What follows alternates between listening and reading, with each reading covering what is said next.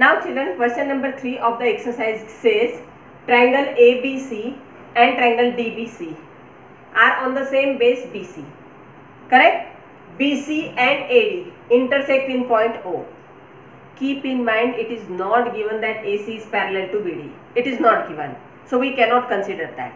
Correct? We have to prove area triangle ABC upon area triangle DBC is equal to AO upon DO. So how we are going to do that? Correct? Now construction we are going to do.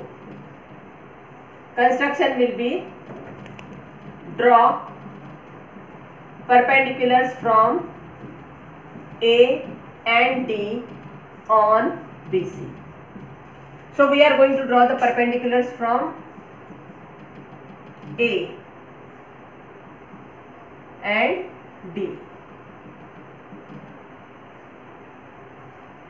this will be N correct on BC so proof again I will be needing two parts I will making it so proof in triangle AOM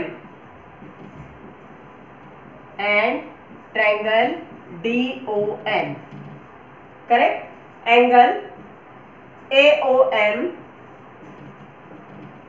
is congruent with angle AOM, DON. Reason will be vertically opposite angles.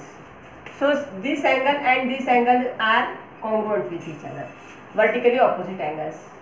Then angle AMO is congruent with angle DNO. And reason will be each 90 degree. Therefore, now two angles are similar, uh, congruent. Therefore, triangles has to be si similar. So, triangles are similar.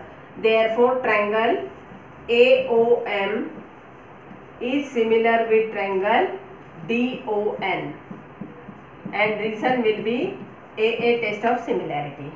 Correct?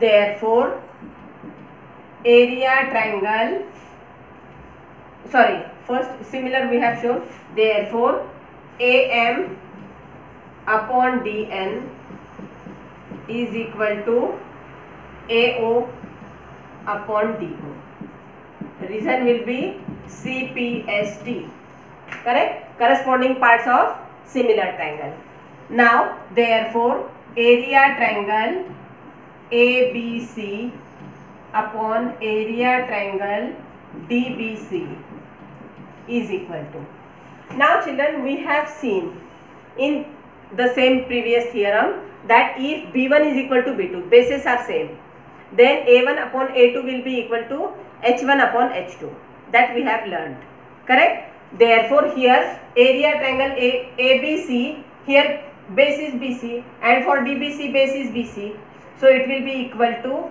A M upon D N if you want you can write if B one is equal to B two A one comma A one upon A two is equal to H one upon H two that can be written correct they are for but sorry but A M upon D N is equal to AO